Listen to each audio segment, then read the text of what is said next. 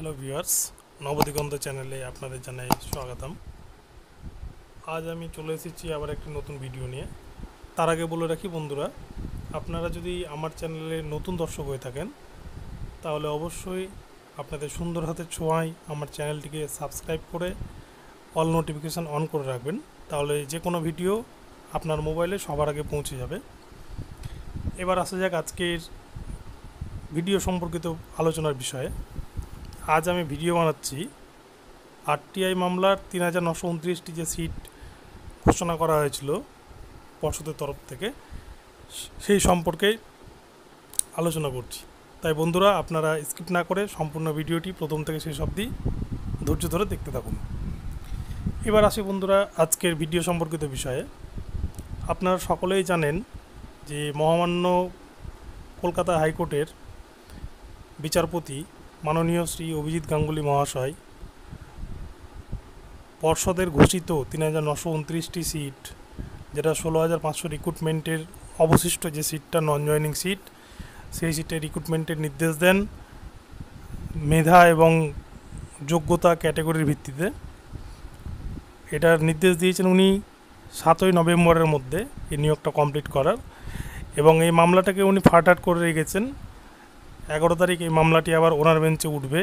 ফাটাট করার অর্থ হলো, উনি যদি অন্য বেঞ্চে চেঞ্জও হয়ে যান, তবুও তিনি এই মামলাটি দেখবেন।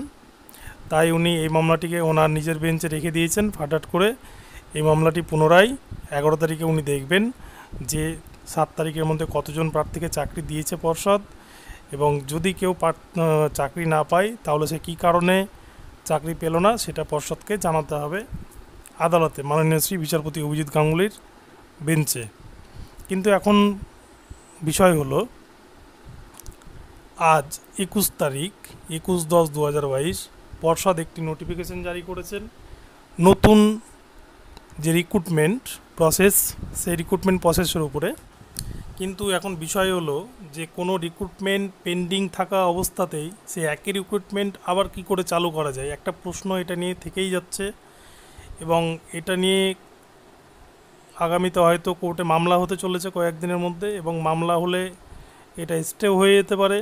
কেননা একটা রিক্রুটমেন্ট চলাকালীন বা একটা অনগোয়িং প্রসেস চলছে, ষোলো হাজার পাঁচশো নিয়োগ কমপ্লিট হয়নি এখনও কিন্তু আরেকটা নোটিফিকেশান পর্ষদ জারি করেছে, তাই এটা নিয়ে নতুন করে চিন্তার ভাঁজ ফেলেছে চাকরি প্রার্থীদের কপালে।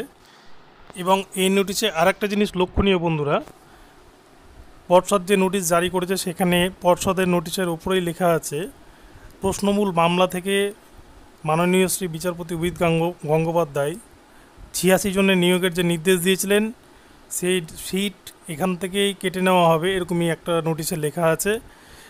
কিন্তু আরটিআই মামলায় যে সিট ঘোষণা করা হয়েছিল বা যে নিয়োগের নির্দেশ দিয়েছিলেন মাননীয় শ্রী অভিজিৎ গঙ্গোপাধ্যায় মহাশয়, কিন্তু ওই সিটের কথা কিন্তু এই নোটিশে লেখা নেই। এবং পর্ষদের তরফ থেকে বারবারই বলা হচ্ছে যে ওই সিটটা ক্যারি ফরওয়ার্ড করে দেওয়া হয়েছে, ক্যারি ফরওয়ার্ড করে দেওয়া হয়েছে।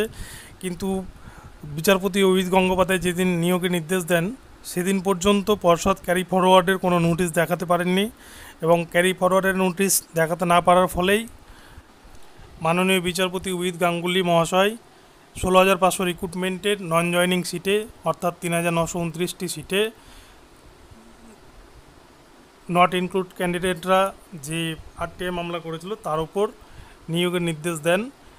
এখন দেখার পালা, বন্ধুরা, কোর্ট খুললে যে আন্দোলনকারীরা যেতে, না পর্ষদ যেতে যেতে, তা আমরা দেখব ভবিষ্যতে কী হয়।